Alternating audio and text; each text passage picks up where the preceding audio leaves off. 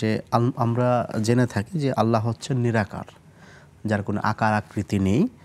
কিন্তু নবী করিম সাল্লাহ আলাইসলাম যখন মেরাজে গিয়েছেন, তখন আল্লাহর সঙ্গে সাক্ষাৎটা কীভাবে হয়েছে, যদি নিরাকার হয়ে থাকেন? ব্যাপারটা হলো যে আর কি আল্লাহ রব্বুল আলমীর নিরাকার কথাটা এইভাবে আসেনি। আল্লাহ সুবাহান হুয়া তালার অবশ্যই আকার আছে, কিন্তু সেটা কেমন, কি, সেটা আল্লাহ তালা ভালো জানেন, সেটা আমার চিন্তায় আসবে না। অর্থাৎ যারা নিরাকার বলতে চেয়েছেন তারা এদিক থেকে বুঝ- বোঝাতে চেয়েছেন যে আমরা যেভাবে আকার আকৃতি নিয়ে চিন্তা করি এই আকার আকৃতিটা আসলে এমন নয়। আর যারা বলতে চাচ্ছেন যে আল্লাহ তালার আকার আছে তাদের বক্তব্য একই রকম যে আল্লাহ রব্বুল আলমিনের যে আকার আছে সেটা কেমন সেটা আল্লাহ সুবাহান তালা ভালো জানেন। নয়তো কোরআন করিমের অসংখ্য শব্দ আছে আয়াত আছে যেমন আর রহমান আল্লাহ আশিস্তাওয়া আল্লাহ সুবহান হুয়া তালা আরও সে সমাসীন আছেন।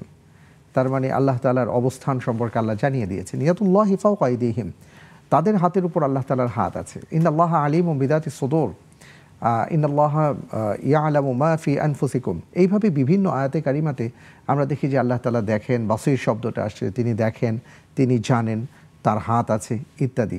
হাদিসে কুসিতে পায়ের কথা আসছে। তো সব মিলিয়ে আমরা যেটা বলব সেটা হলো আল্লাহ সুবহানাহু ওয়া তালার আকার আছে, কিন্তু সেটা কেমন বা কি? লাইসা কামিসলিহি হিসাই তার সাথে কোনো কিছুকে আমরা মিলাতে পারব না। এই বিশ্বাস আমাদের থাকতে হবে। আল্লাহ রব্বুল আলমিন তার শান মান মোতাবেক তিনি তার মতন। এবং এই ক্ষেত্রে আমাদের অবকাঠামোগত যে চিন্তা চেতনা এর থেকে অনেক অনেক ঊর্ধ্বে তিনি পুত পবিত্র এই চিন্তাটা আমাদের করতে হবে।